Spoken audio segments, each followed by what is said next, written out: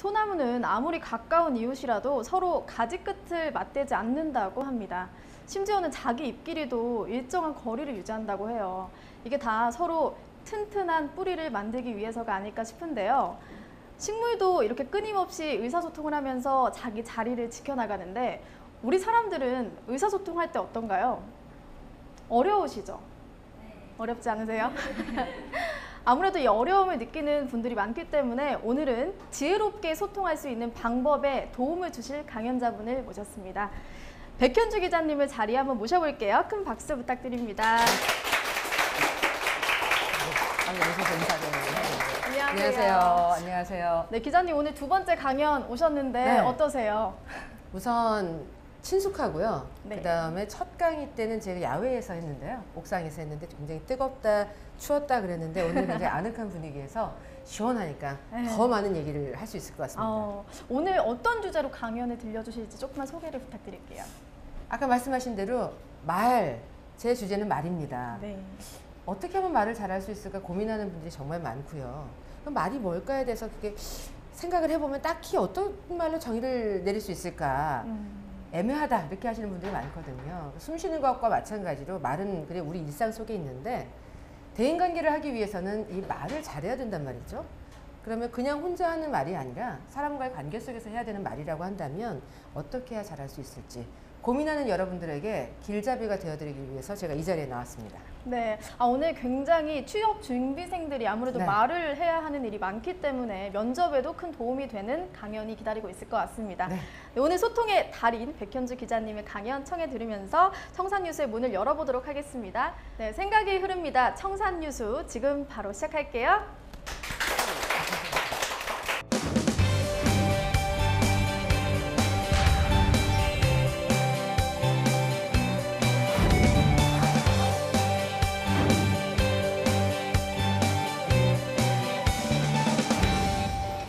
여러분 안녕하세요. 안녕하세요. 기운이 왜 이렇게 없으시죠? 다시 한번 안녕하세요. 안녕하세요. 네. 저는 백현주라고 합니다. 방송에서는 대중문화 전문 기자 겸 방송인으로 활동을 하고 있고요. 학교에서는 또 여러분 또래의 학생들을 가르치는 선생님으로서 교수 일을 하고 있습니다. 아, 오늘은 제가 여러분들하고 만나서 어떤 이야기를 나눌까 고민을 하다가 제가 가장 많이 받는 질문을 가지고 주제로 삼아야 되겠다 생각을 해서 오늘의 주제로 삼은 것이 시원하게 뚫리는 소통 화술이에요. 많은 분들이 저한테 물어보세요.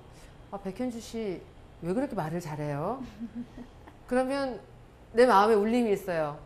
말을 왜 그렇게 잘하는지 저도 잘 몰라요. 그러나 잘 모르지만 나름의 방법을 찾아서 왔기 때문에 말을 왜 그렇게 잘해요? 라는 소리를 들을 수는 있었던 것 같아요. 내 나름의 방법을 가지고 쭉 말에 대해서 관심을 가지고 있었고 말 잘하는 사람에 대한 선망이 있었고요. 또 우리 세대에서 선망을 했던 뭐 진행자라든지 뭐 아나운서라든지 이런 분들을 롤 모델로 삼아서 모니터도 나름대로 많이 하고 쫓아하기도 하고 좀 말을 많이 하려고 노력을 했던 것 같아요. 운동 여러분들 운동을 했을 때요. 운동 각자 좀 해본 경험들이 있죠. 어떤 운동 할 줄 알아요? 탁구 많이 쳐봤어요. 탁구. 그러면 탁구 쉰 지 얼마나 됐어요? 한 1년 정도 됐어요. 다시 탁구를 한다 그러면 1년 전에 그 실력을 발휘할 수 있을까요? 조금 시간이 걸릴 것 같습니다. 조금 시간이 걸리죠. 어떤 운동 해요? 저는 헬스나 그 헬스. 특별히 헬스도요. 네. 열심히 매일매일 시간대로 했다가 한참 쉬다가 다시 하면 알백이죠. 막 계단 오르고 막 내려가는 거 힘들잖아요. 제가 얼마 전에요. 제가 몇 년 전에는 필라테스라는 거를 몸에 이게 체형을 바로 잡는 데 좋다고 그래가지고 필라테스를 했다가 한동안 좀 쉬었어요. 근데 할 때는 되게 잘했어요. 근데 쉬었다가 아 이대로 가다가 안 되겠구나. 이게 혈액순환이라든지 건강에 대해서 내가 지금 자각을 하지 않으면 안 되겠구나 싶어가지고 필라테스를 다시 끊어서 다시 했는데 어머 안 되는 거예요 잘. 왜 그래요? 너무너무 오래 쉬었다가 하니까 몸은 기억은 해서 동작은 따라 하는데 스트레치라든지 근육이 움직여지는 게 안 따라주는 거예요. 말도 마찬가지예요. 노래도 마찬가지잖아요. 노래방에 가서 맨날 친구들하고 모여서 노래 부를 때는 노래가 잘 돼요. 굳이 맥주 같은 거 안 마셔도 노래가 잘 돼. 근데 한참 정말 근면 성실한 생활 하다가 모임이 있어서 정말 오랜만에 노래방 가면 노래가 잘 안 돼요. 떨리는 것도 아닌데 안 돼요. 성대가 안 풀려서 그렇잖아요. 목소리가. 마찬가지로 말도요. 그냥 보기만 하고 누굴 갖다 모니터를 하고 그 사람을 벤치마킹만 하겠다라고 각오를 하고 눈으로만 눈팅 하듯이 본다. 말 안 됩니다. 연습이 필요한 거예요. 혼자만의 스킬을 키우기 위한 연습이 필요한 거기 때문에 보면서 따라하면서 그거 가지고 내 나름대로의 화법으로 화술로 승화를 시켜야 됩니다. 여러분 말은 그럼 뭘까? 말. 우리 그럼 원론적으로 한번 들어가 볼까요? 말은 뭐예요? 말. 말. 상대방과 네. 의사소통하는 데 필요한 도구. 정답이에요. 그것도 정답이에요. 또 생각하는 말은 또 뭐예요? 상대방하고 생각을 나누고 교감을 하기 위한 수단. 말이 뭐예요? 상대의 마음을 알 수 있고 응? 자기 의견도 전달할 수 있는 수단. 다 정답이에요. 근데 여러분도 공통점이 있어요. 말이 뭐냐고 질문을 했더니 말이 뭐라고 바로 즉답이 안 나와요. 그렇기 때문에 말을 어렵다고 생각을 하는 거예요. 여러분들 친구랑 통화할 때 뭘로 해요? 말로 하잖아요. 지금 다 뭐예요? 말로 강의하잖아요. 질문하면 여러분 뭘로 대답해요? 써서 대답했나요? 말로. 말로 대답했어요. 그래요. 말은요, 나의 생각과 느낌을 전달하는 수단이에요. 상대방의 느낌과 생각도 전달을 받을 수 있는 수단이에요. 자, 대화는 뭘까요? 대화. 대화. 자, 대화는 말이라는 이 매개체로 서로의 생각과 느, 그 느낌을 주고받는 그런 일련의 과정을 대화라고 하죠. 혼잣말은 뭐예요? 혼잣말. 자, 혼잣말. 자, 말. 자신의 생각과 감정을 표현하는 수단. 생각하는 것과 느끼는 것을 표출하기 위해서 하는 거죠. 혼자 말하는 거, 혼잣말. 정신 이상한 건가요? 여러분도 혼잣말 해본 적 있어요? 네. 혼잣말 내가 누군가에게 보여줄 수 없는 나의 생각과 느낌을 혼자만의 장소에서 스스로 해소하기 위해서 하는 거예요. 자, 대화는 두 사람 이상이 주고받는 말. 대화. 그러면 주저리 주저리 그냥 시조 올 듯이 그냥 주저리 주저리 하나요? 아니죠. 나는 이런 거에 대해서 이렇게 생각을 하고 이걸 봤을 때 이렇게 느꼈고 서로를 알 수 있는 수단이에요. 자, 예전에는요. 말이 그렇게 중요한 비중을 차지하지 않았어요. 그 예전이라 하면 언제냐면 통신수단, 방송 매체 같은 것이 발달하기 전에는 말보다 글이 더 중요한 서로의 소통 수단이었어요. 예전에 파발마 있었죠, 파발마. 어떤 문제가 막 급히 생기면 봉화 같은 걸 띄우기도 하고 파발마를 막 보내가지고 소식을 급파하기도 하고 서신을 통해서 보고를 하기도 하고 글을 얼만큼 잘 쓰느냐가 자신을 어떻게 잘 표현할 수 있느냐의 능력을 가늠할 수 있는 거였어요. 하지만 방송 매체가 발달을 했고 통신 수단이 발달을 한데 더불어서 요즘에는 굉장히 SNS라는 것이 우리의 많은 생활들을 바뀌었습니다. 바꿨습니다. 생활의 패턴, 모든 흐름 다 바꿨죠. SNS가 주도하고 있다고 해도 자- 어, 과언이 아닌데 자 그럼 SNS라는 것이 생기면서 우리는 뭘 잘해야 돼? 나를 사람들에게 어필할 수 있는 그 능력이 내가 원하는 분야에서 잘 나갈 수 있느냐, 좀 주춤하느냐를 가늠할 수 있는 하나의 또 창구가 된 거예요. 그럼 나를 표현하는 거, 나를 어필하는 거, 이게 요즘의 시대의 트렌드다. 그러면 글보다 말이다. SNS에는 물론 글을 쓰긴 하지만 영상 같은 걸 통해서 입체적인 나를 보여주기도 하고 또 동영상 같은 걸 올려서 날 셀프 찍어가지고 올리기도 하고 또 그게 또 인기가 많이 어, 모아지면은 나처럼 이렇게 강연 초청이 돼서 또 강연자로 나갈 수도 있는 것이고 어딘가에 또 캐스팅이 되거나 채용이 될 수도 있는 것이고 참 말이 많이 중요한 그런 시대에 여러분들이 살고 있는 겁니다. 그럼 말이라는 거는 어떻게 해야 잘할 수 있어요? 그리고 이게 뭉뚱그려서 나한테 물어보면 어떻게 해야 잘할 수 있다고 말을 못해요. 어떻게 글쎄 이렇게 되는 거거든요. 그냥 약간 집요하게 우리가 말을 어떻게 하면 잘할 수 있는지. 여러분들 내가 지금 말하는 속도가 좀 빠르죠. 남들보다 빠른 편인데 들리는 건 쏙쏙 들릴 거예요. 네. 자, 내 말은 지금 어떻게 해서 그럼 쏙쏙 들릴 것인가? 첫 번째, 저는 복식 호흡이 생활화되어 있습니다. 어. 그래서 마이크를 쓰더, 쓰든 쓰지 않든 일단 발성이 잘 돼 있어요. 찰진 소리가 나간다 그러지, 찰진 소리가. 그리고 고저장단이라고 그래가지고 우리나라 말도 중국어의 사성처럼요, 홍콩, 광동어의 구성처럼요, 높낮이가 있고 길고 짧음이 있습니다. 그것을 철두철미하게 지키는 거예요. 그리고 생각을 조금 빨리 합니다. 말을 리듬 타듯이 하기 때문에 약간 빠른 듯한 그 달변이라는 그 느낌을 주면서 동시에 나는 생각을 하고 말을 해야 되잖아요. 어떤 생각? 방송을 할 때는 저는 제 3자의 인생에 대해서 이야기를 하죠. 사건, 사고에 많이 들어가니까. 그럼 그 사람의 사건, 사고와 관련된 것만 이야기를 해야지 그 사람의 인생을 좌지우지하고 힘든 상황으로 몰아가는 이런 말을 해서는 안 되잖아요. 그래서 말을 할 때는 생각을 더 빨리 합니다. 머리가 지진나죠. 생방송에서도 어떻게든지 말을 객관적으로 하기 위해서 노력을 하고 있고요. 여러분들한테는 어떻게 얘기를 해야 돼? 어떤 생각을 하면서 아 오늘은 내가 주제를 시원하게 뚫리는 소통 화술로 잡았으니까 학생들이 쏙쏙 귀에 박힐 수 있게 설명을 잘해줘야 되겠구나. 어떤 식으로 설명을 할까? 어떤 비유를 쓸까? 어떻게 해야 효과적으로 여러분들에게 전달할 수 있을까를 생각을 하면서 말을 하는 거거든요. 그리고 또 한 가지 저 선생님 왜 저래 저기 서가지고 어, 저 정도는 나도 알 수 있어 라는 그렇게 만만하게 보이지 않는 선생님이 되기 위해서 더 많은 것들을 기억을 끄집어내고 내가 갖고 온 순서를 또 끄집어내고 이러면서 말을 하고 있습니다. 자, 여러분들 아마 내가 준비해온 이 자료들을 보면 많이 공감을 할 거예요.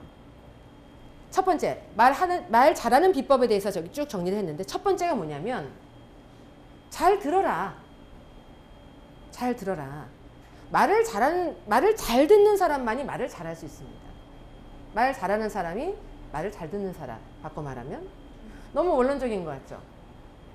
여러분들 미국의 유명한 진행자 오프라 윈프리 아시죠? 네. 그녀의 토크쇼에 대해서 우리가 영어를 굳이 못하더라도 느낌적으로 알 수 있잖아요. 우리 느낌적인 느낌으로.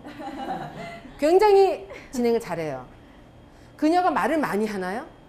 아니요. 본 적 있어요? 오프라 윈프리 쇼? 잠깐 잠깐 단편적으로라도 본 적 있죠.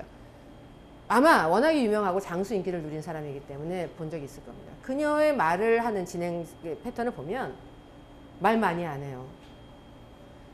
그날 초대한 초대 손님을 앉혀놓고 굉장히 진중하게 경청을 합니다. 굉장히 경청을 해요. 경청한 사람은 어떤 반응을 보여줄 수 있어요? 진정한 공감을 표현해 줄 수 있어요.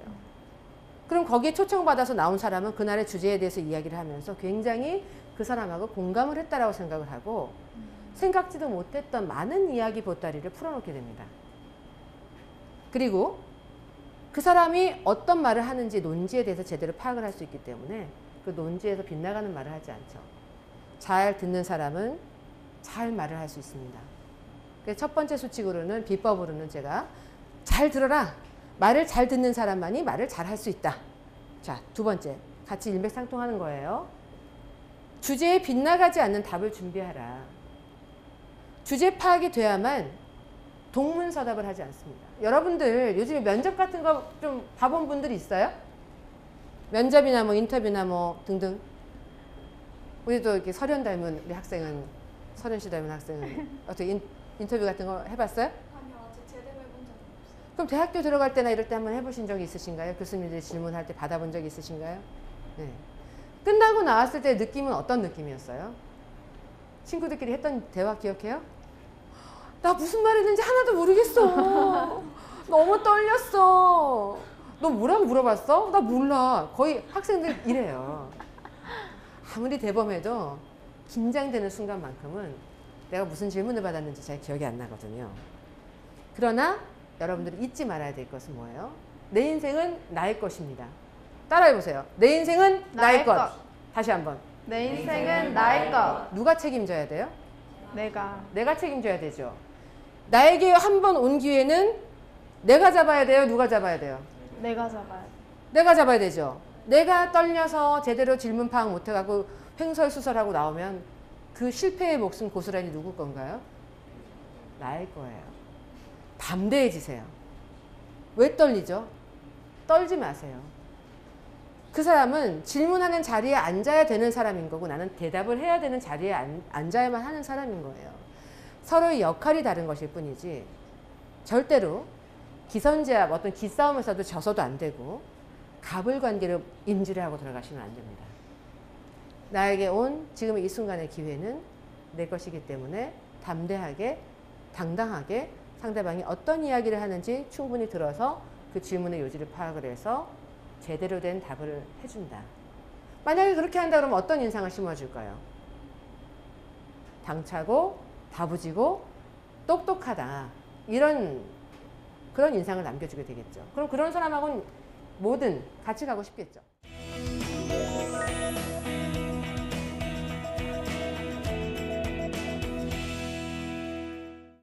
여러분도 여기에도 아마 공감을 많이 할 거예요. 내가 여기다 말 잘하는 비법이라고 가지고 왔지만 특별한 내용이 아닙니다. 여러분들이 다 알고 있었고 평소에 느꼈었던 거 편편히 그 조각들을 다 퍼즐 맞추듯이 맞춰서 순서대로 제가 그냥 잡아놓은 것 뿐이에요. 셋째, 명령조보다 권유조의 말을 선호하라. 기분이 상하면 대화가 이어지지 않는다. 자, 대부분이 여학생들이에요. 우리 여학생들의 기준에 맞게 한번 설명을 내가 해볼게요. 너 화장을 왜 그렇게 했어? 화장 그렇게 하지 마. 너 왜 자주색 바지 입었어? 이런 색깔 바지 입지 마. 그런 말을 들었을 때 기분이 어떨까요? 리액션은 어떻게 나갈까요? 화나요. 화나죠? 내 화장이 어때서? 내 바지가 어때서? 반응은 그렇게 나옵니다. 그죠? 그런데 만약에 이 같은 말을 돌려서 화장을 너는 얼굴이 조그맣고 피부가 뽀얗고 이쁘니까 너무 진하게 하지 말고 자연스럽게 하는 건 어떨까? 라고 한다면 화날까요? 뭔가 개선하고 싶은 마음이 욕- 막 샘솟겠죠? 그리고 굉장히 스타일리시하니까 자주색 이런 바지보다도 약간 재색빛 바지 같은 걸 입어서 블랙하고 재색을 하면 굉장히 매치가 잘 될 것 같은데 그런 색깔은 어때? 라고 한다면 내 바지가 뭐 색깔이 어때서? 라고 리액션 하기엔 너무 민망해지겠죠? 음. 그러겠죠? 바로 그거예요. 너는 왜 옷을 그렇게 입니? 머리를 왜 그렇게 잘랐니? 라고 하지 말고 그 머리 스타일보다는 어, 이런 머리 스타일이 어떨까? 어, 이런 옷은 어떨까? 그 너는 음악을 잘하니까 노래 보컬보다도 그러니까 노래 노래 못하는 사람한테 노래 못한다고 직진하면 자존심 상하게 만드는 거죠. 어떤 분들은 악기 다루는 솜씨가 더 뛰어난데 보컬을 욕심내시는 분들이 덜어 있거든요. 음. 그러면 너는 노래를 못하니까 보컬을 하면 안 돼. 그러면 네가 무슨 자격으로 나- 나를 비난하는 거야. 이러면서 싸움밖에 안 나거든요. 그런데 내가 생각할 때 너는 노래보다도 악기를 너무너무 잘 다루니까 악기 연주 쪽으로 더 매진을 해서 많은 사람들한테 정말 좋은 감정을 솟구치게 해주는 그런 뮤지션으로 가면 어떻겠느냐. 이렇게 제안을 하면은 굉장히 기분이 업되고 자존감이 올라가고요. 그쪽에 대해서 긍정적인 생각을 합니다. 이런 경우도 있어요. 명령조보다 권유조의 말을 하는데 권유조의 말도 어떤 때는 좀 약간 서먹서먹할 것 같을 때는요.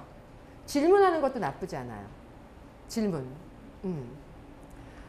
동희는 머리를 왜 땄어? 예를 들면 왜 땄어? 왜 땄어? 그러면 안 따고 우아하게 한 머리가 예쁠 것 같은 마음에 하는 수도 있는 아. 거예요. 그거 내 개인적인 취향이니까. 네. 그러면 머리 따지 마.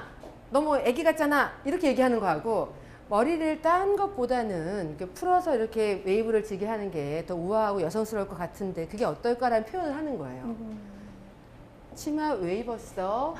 예를 들면 왜 입었어? 라고 물어보면 어 이건 이러이러해서 입었어. 설명을 하죠. 왜 마음에 안 들어? 음, 그것보단 이게 어떨까? 하면서 대화를 이어갈 수 있는 거거든요. 그러니까 여기에서 말하는 핵심 뭐예요? 절대 피해야 될 말 명령조. 음. 무슨 자격으로 나를 비난을 하고 명령을 해요. 그죠? 너 살쪘으니까 이거 먹지 마. 하는 얘기하고요.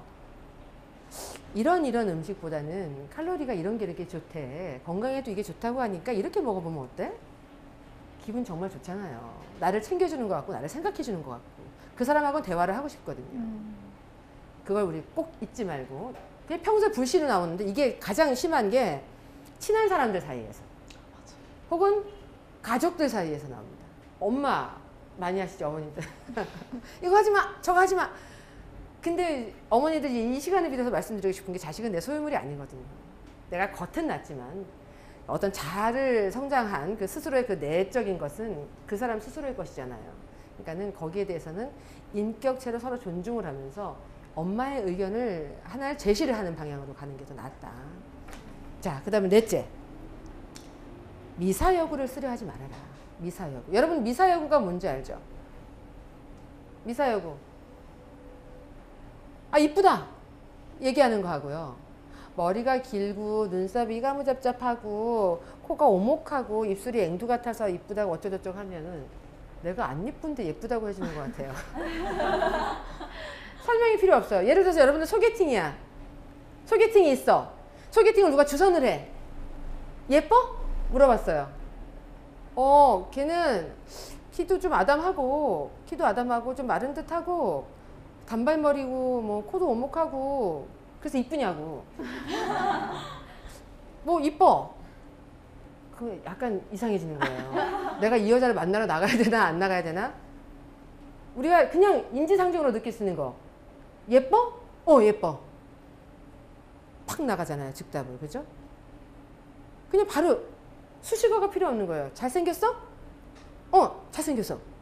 아니, 키도 크고, 어깨도 넓고, 소지섭 어깨고, 뭐 등등 설명을 해. 그래서 잘생겼냐고.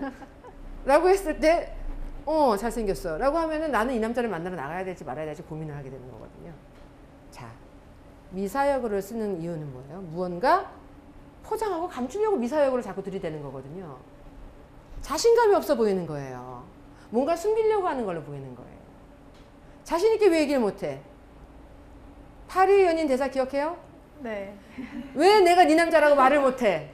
자신있게 얘기를 하라고요. 미사여구 필요 없습니다. 만든 건 있는 그대로 솔직하게 말을 해야만 상대방이 의구심을 갖고 듣지 않아요. 상대방이 의구심을 갖고 나를 바라보고 나를 내 얘기를 듣기 시작하면 그 관계는 지속될 수 있을까요? 왜? 무엇이 없기 때문에? 신뢰가. 신뢰가 없기 때문에. 대화에는요, 신뢰가 기본 베이스로 깔려 있어야 됩니다. 그렇기 때문에 미사여구 같은 거 쓰는 거를 하지 말자. 너 이거 잘해 못해? 이거 해- 제가 유학을 갔다 와서 연수는 하긴 했는데요. 예를 들어 어떤 영어에 숙련된 숙달자가 필요하다. 기회를 줘야 되겠는데 연수를 갔다 온 것 같아 누가? 물어봅니다. 너 이거 영어 잘해 못해? 제가 제 입으로 말하긴 뭐하지만 저는 이런 이런 이런 시험에서 이런 성적을 받았고요. 이런 이런 곳- 곳에서 제가 이런 아르바이트를 해서 경험을 했습니다. 라고 한다면 어 그래 그건 너의 경험이니까 그래, 인정할게 하고 채용할 수 있지만 제가 한 6개월 공부는 했는데요. 거기에 한국인들이 워낙 많아가지고요. 영어를 쓰기보다요. 어, 한국어를 쓰기가 좀 많긴 했지만 시켜만 주신다면 하면 순간 이미 아까 앞부분에서 한 두 줄쯤 나갔을 때 그 사람 마음은 접습니다. 아 자신이 없구나. 음. 자꾸 수식어 붙이려고 하지 마세요. 있는 그대로 담백하게 음식도 담백한 게 좋은 거 아닌가요? 물론 때로는 MSG의 그런 맛이 그리울 때도 있지만 MSG를 걷어낸 그 담백한 본연의 맛이 많은 사람들에게는 꾸준한 뚝심 있는 입맛으로 통용이 되는 겁니다. 다섯째. 이건 여러분들이 정말 생각을 많이 하셔야 돼요. 효과적인 전달을 위해서 표정하고 바디랭귀지를 섞, 섞어서 써라. 입만 떠벌리면 앵무새에 불과하다. 여러분들 재미있는 영화 보면 코미디 영화 보면 막 웃죠. 깔깔대고 웃죠. 막 곡성 같은 영화 보면은 물론 작품성은 있고 재미는 있지만, 있지만 무서운 장면들 막그 약간 나오면 무섭잖아요. 막눈 가리게 되죠. 그건 굉장히 순수한 감정의 표현이잖아요. 그죠? 굉장히 전달이 잘 될 수밖에 없어요. 옆에서 친구가 놀래. 공포 영화 보다가 놀래. 얘 놀랬다는 걸 보여준 거예요, 지금. 보여주고 싶어서 보여준 게 아니라 어쨌든 알 수 있어요. 그죠? 말이라는 걸요, 주저리 주저리 한다. 우리 아나운서들은 감정을 빼고 뉴스를 읽습니다, 앵커들은. 뉴스 진행할 때 보면, 뉴스 전문 채널에서 뉴스 보도할 때 보면은 아무리 황당한 사건을 소개해도 굉장히 천편일률적인 톤과 표정을 지키죠. 그거는 객관성을 띄어야 되는 보도기 때문에 그렇거든요. 근데 만약에 내가 누군가를 만나가지고 대화를 하는데 이거 맛있어요? 네, 맛있습니다. 아, 이거 그러면은 휘핑크림이 섞여 있는 아이스 초코인가요? 모르겠습니다.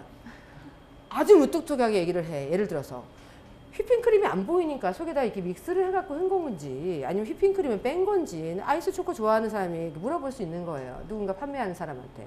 근데 되게 무뚝뚝하게 모르겠습니다. 저는 판매자기 때문에 모르겠습니다.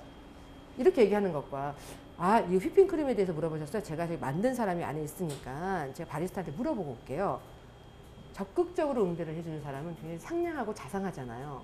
그럼 그 사람에게 내가 존중받고 있다는 생각이 들거든요. 그리고 그 사람하고 말을 할 때 귀에 쏙쏙 박혀요. 근데 너무너무 천편일률적인 얘기를 한다. 고저장단을 지키면서 복식호흡에 충실한 말만 하고 있다. 슬픈지, 기쁜지, 즐거운지, 약간 우울한지 감을 잡을 수가 없는 거예요. 그건 정보 전달이 아니라 대화하는 중에는 그런 말은 써서는 안 된다. 지양을 해야 된다. 우리한테는 손이라는 것이 있고요. 표정이라는 것이 있고요. 눈이라는 게 있어요. 내가 이렇게 자꾸 하는 이유가 뭐야? 자기하고 아이 컨택 하려고 그러는 거예요. 눈을 봐야지 알 수 있거든요. 지금 나는 여기서 강연을 해야 되기 때문에 말은 나 혼자 하잖아요.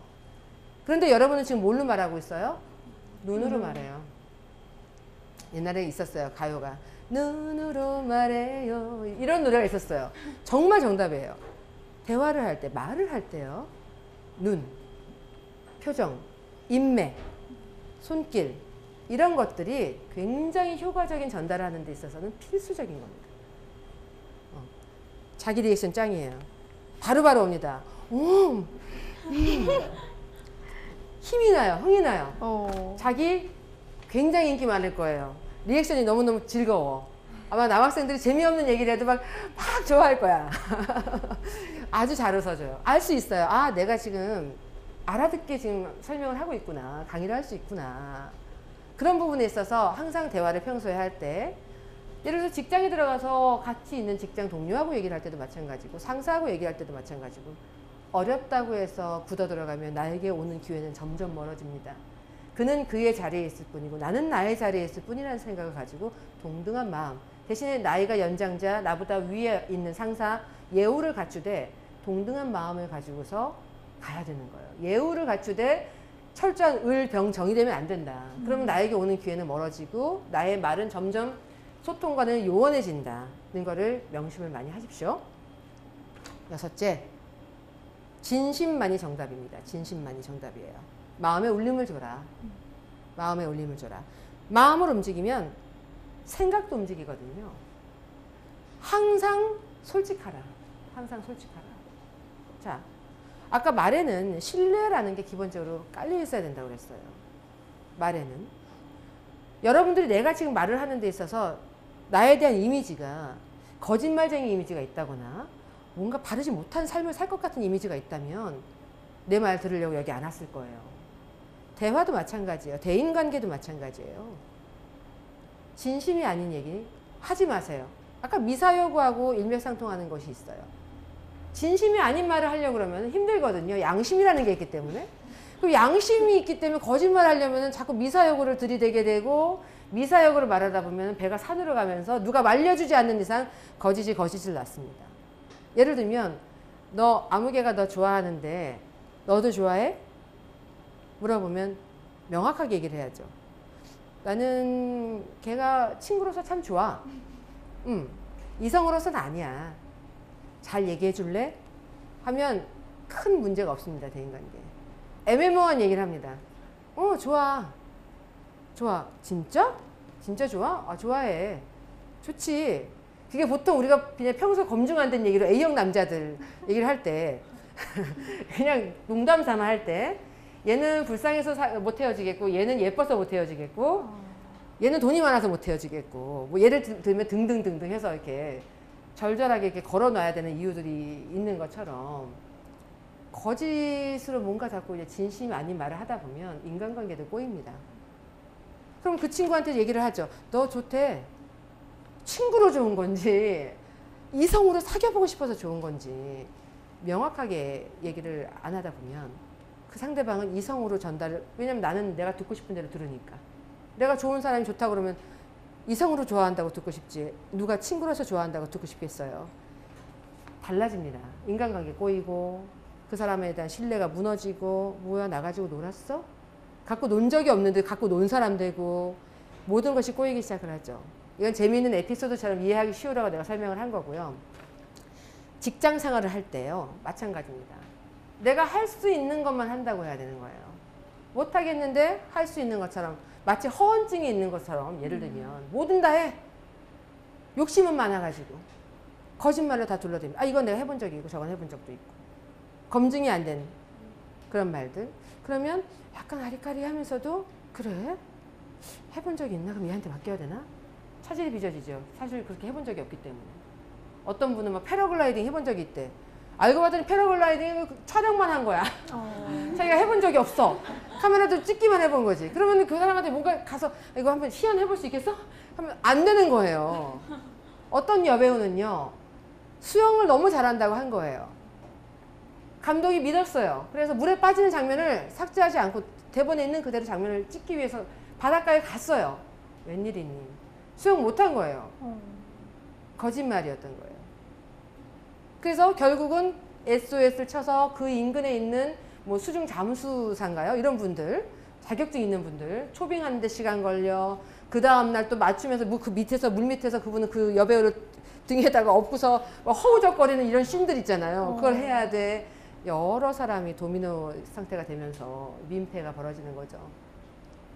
그러니까 항상 진심, 마음에 울림을 주는 것뿐만 아니라요. 솔직해야만 그 사람과의 인간관계가 유지가 되거든요. 아까 여배우 얘기 잠깐 했죠. 그 여배우, 그 감독하고 또다시 작품 찍었을까요? 안 찍었을까요? 안 찍었어요. 그래요. 그걸로 끝난 거예요. 유지가 안 되죠. 당했잖아. 그러니까 감독 입장에서 봤을 땐 당한 거잖아요. 세상에나 마상에나. 수영 그렇게 잘한다고 그래가지고 그 장면을 삭제 안 했더니. 그 대본 수정할 때 얘기를 했으면 그걸 삭제를 했을 텐데. 했다 치고로 넘어갈 수 있는 신이었는데 그렇게 되면서 판이 너무 커진 거죠. 수중 잠수사도 arrange를 해야 돼. 또 하루를 delay 해야 되니까 촬영 돈 비용 소요 또 스태프들 다 모든 일정 소요 차질이 빚어졌죠. 그러니까는 인간관계가 유지가 될 수가 없는 거죠. 항상 뭐든지 진심, 진심만이 정답입니다. 내가 아닌데 나를 포장하면 뭐를 해요? 내가 아닌 모습이기 때문에 아무 의미가 없는 거거든요.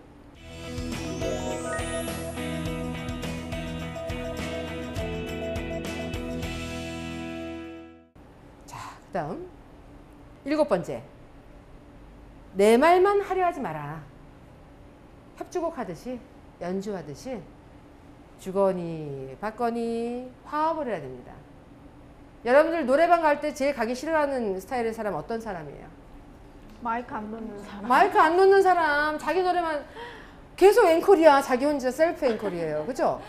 계속 막 심취해서 막 어떤 사람 락 불렀다가 가곡 불렀다가 막 자기 원하는 것만 하는 거예요. 근데 노래방 혼자 가는 게 아니고 여럿이 가면 어우러지기 위한 하나의 그냥 수단 장소잖아요. 그 노래방은.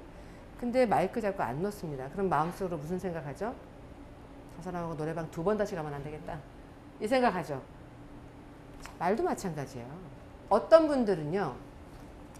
진행 본능이 왜 있을까? 살아가면서 진행 본능이 있으신 분들이 있어요. 그래서 두 명 이상의 사람과 어울리잖아요.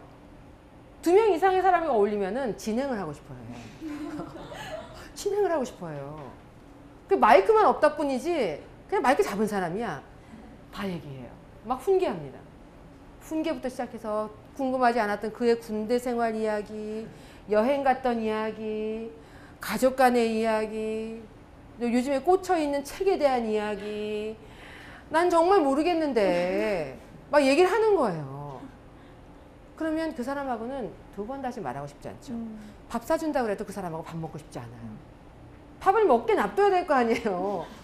밥 못 먹어요. 귀로 들어가든지 뭐 코로 들어가든지 입으로 들어가든지 몰라요. 자, 중요한 거. 내 말만 하려 하지 말라는 거죠. 주거니 받거니 내가 아? 하고 던졌어요. 그럼 아? 하고 받아야지. 그죠? 상대방한테 아? 하고 오게 해줘야지. 아! 받아줘야죠 또. 그러다 보면 주거니 받거니 주거니 받거니 시간 가는 줄 모르고 인간관계는 돈독해지고 서로가 서로에게 힘이 되는 그런 관계 인간을 틀을 한 관계 형성을 하나를 만들게 되는 거거든요. 그러니까 절대로 진행 본능을 가지고서 내 말만 하려 하지 말아라. 여러분들 같이 웃고 이랬지만 혹시 몰라 이 가운데 누가 진행 본능 있는 사람이 있을지 몰라. 그러니까 절대 그러지 마. 응. 주거니 받거니 감정을 나누면서 화합을 해요. 그게 가장 맛깔스러운 대화입니다. 맛깔스러운 말이고요. 자, 여덟 번째. 지적보다 칭찬을 먼저 하라. 아까 첫 번째 했던 얘기하고 비슷한 거예요. 명령보다 권유를 얘기를 했었죠. 지적보다 칭찬을 먼저 하라. 자, 보통요, 우리가 어렸을 때부터 좀 많이 익숙한 환경은 불행하게도 지적을 받는 겁니다. 약간 여러분들은 그래도 우리 때보다 나은데요. 칭찬에 인색한 게 선배의 어떤 모습으로 보여졌어야 된다고 생각을 했고요. 선생님이 하나의 그 도리라고 생각했던 그런 무언의 이런 공감대 같은 것들이 있던 것 같아요. 우리 사회 속에는. 근데 중요한 건요. 누구에게나 장점과 단점은 다 있습니다. 장단점이 있어요. 근데 그 사람에 대해서 단점을 먼저 끄집어내주는 게 기선제압인가요? 이왕이면 다홍치마라고 장점부터 얘기해 줄 수 있는 거잖아요. 그죠? 칭찬부터 하고 나서 단점에 대해서 얘기를 하면 이미 기분이 좋은 상태에서 수용할 마음의 여지가 있습니다. 그죠? 단점부터 막 지적을 하고서 아홉 가지의 단점을 늘어놓고서 마지막 한 번째 딱 칭찬한다. 참, 죽였다가 나를 마지막 살리는구만. 듣고 싶지 않아요. 그 어떠한 좋은 말도 귀에 들어오지 않아요. 절대 그거는 어른의 자세, 선배의 자세 아닙니다. 왜 우리는 좋은 것을 좋다라고 먼저 표현해주지 못했을까요? 그건 이제 앞으로 여러분들의 그런 세대에서는 적극적으로 좀 많이 바꿔줬으면 좋겠습니다. 선배는요, 진정한 선배는요, 진정한 선생님은요, 잘하는 걸 잘한다라고 칭찬해 줄 수 있는 사람입니다.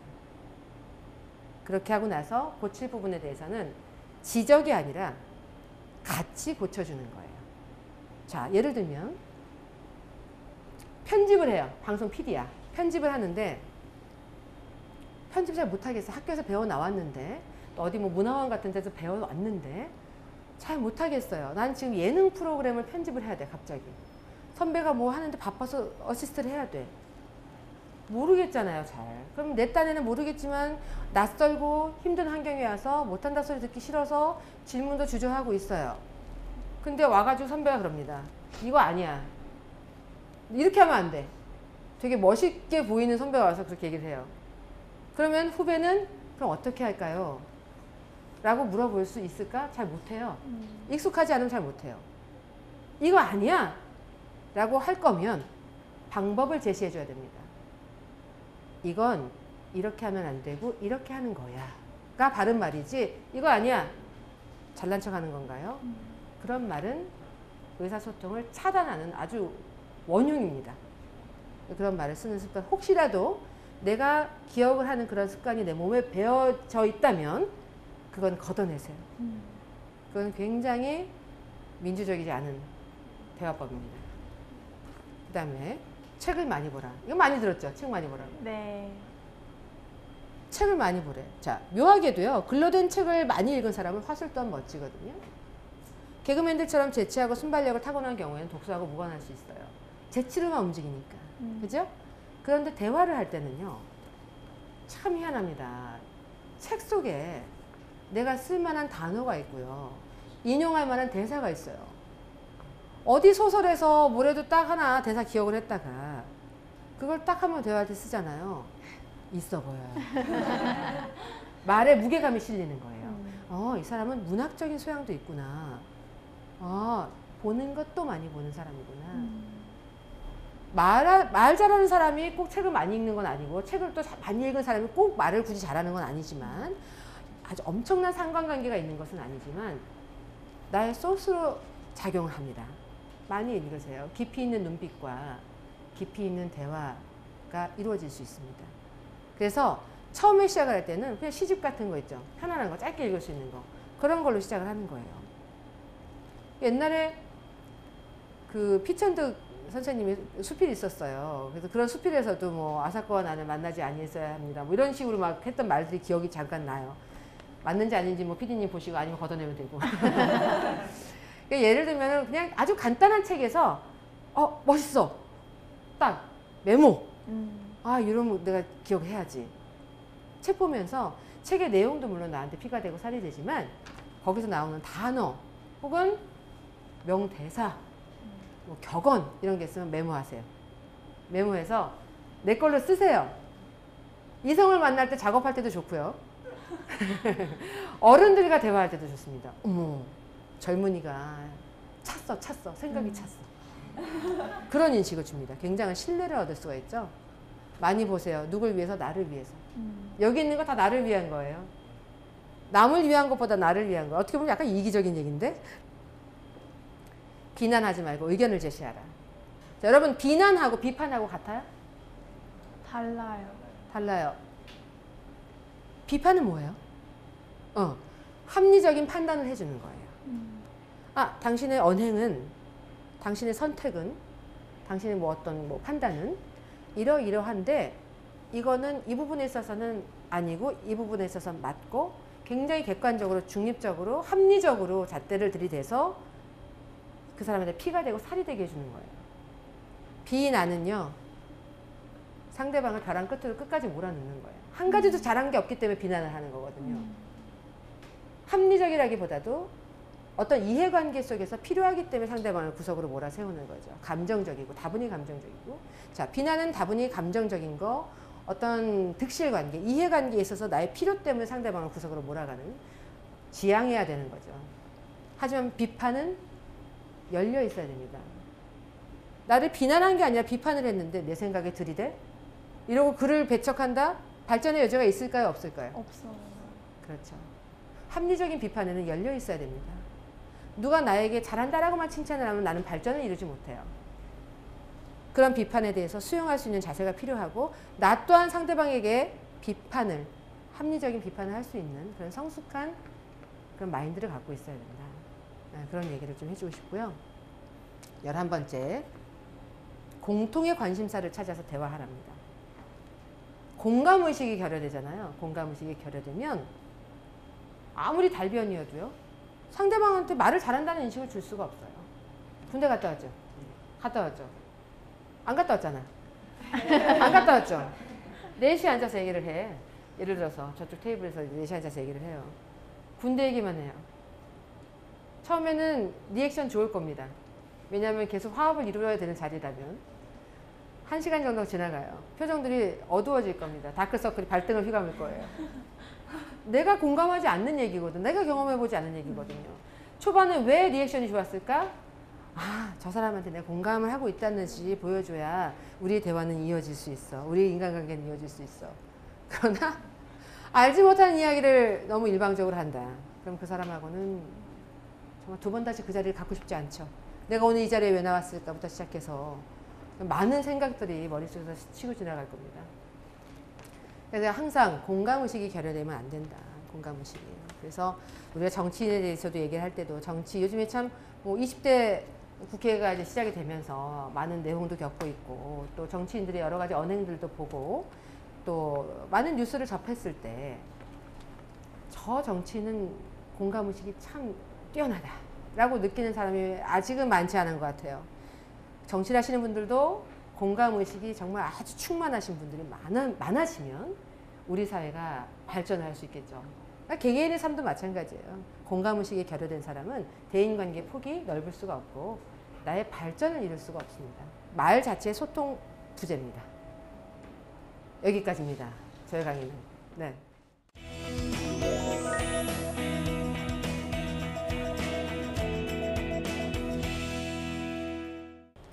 네, 오늘은 어떻게 하면 말을 잘할 수 있는지 백현주 기자님께서 아주 시원하고 명쾌한 강의를 해주셨는데요.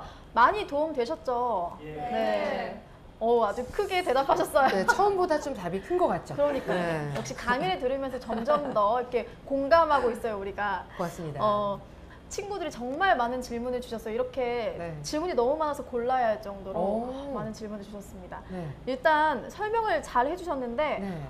아까 그 면접 같은 데서 진실로 얘기를 하고 진심 어리게. 네, 진심 어리게 얘기를 하라고 해주셨는데 자기는 너무 떨리대요. 면접만 어. 가면. 이제 그 떨지 않을 수 있는 팁은 없는지 좀 궁금하다고 해요. 제가 항상 강조하는 게 지금 이 순간 나에게 온 기회는 오로지 내 것이에요. 오롯이 내 것이기 때문에 떨고 있을 겨를이 없습니다. 굉장히 절실한 마음으로 임하시고요. 절실한 마음으로 임- 임하되 그 사람과 나는 면접관과 지원자의 각자의 자리에서 만날 뿐이지 굉장히 어렵고 그 명을 거역하면 내 목숨이 끝나고 대역죄를 범하고 이러는 게 아니라는 말이죠. 음.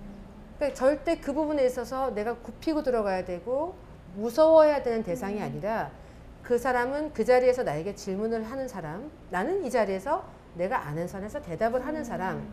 당당한 마인드 컨트롤을 하고 가세요. 스스로 자꾸 최면을 거세요. 여러분들 중요한 게 뭐냐면 거울 많이 보세요.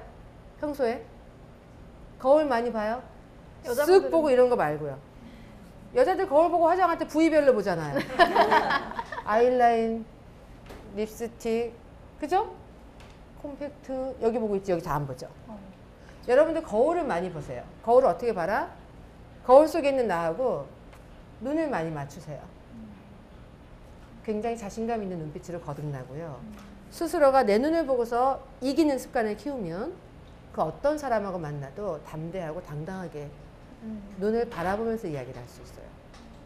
그리고 지금 내가 떨려서 이 기회를 놓치면 나를 제대로 보여줄 수 있는 기회가 또 언제 올지 모른다는 생각으로 내 인생은 나의 것이라는 생각을 가지고 굉장히 책임감 있고 자신감 있게 가세요. 음. 덜어는 카메라 앞에서 면접을 보는 경우도 있잖아요. 카메라에 맥이 뛰나요? 안, 안 뛰죠. 체온을 느낄 수 있나요? 그냥 기계일 뿐인 겁니다. 왜 무섭고 두려워? 왜 떨려야 돼요? 아니에요. 그냥 나는 있는 그대로 나를 보여주기 위해 이 자리에 있는 거니까 당당한 나로 자신감을 가지세요. 눈빛부터 이기세요. 거울 보고 내 눈빛을 보고 어, 나 이렇게 생겼구나. 음, 괜찮은데? 눈도 이쁘고 코도 이쁘고 나하고 혼잣말처럼 내 눈빛을 보면서 대화를 하기 시작을 하면 사람 앞에 서는 게 조금 더 자연스럽고 편해질 수 있습니다. 근데 그러면 음. 약간 셀카를 찍으면서 자기 얼굴을 자꾸 보는 것도 도움이 될까요? 셀카 찍을 때 얼굴 보여요? 약간 이, 이거는 아니잖아?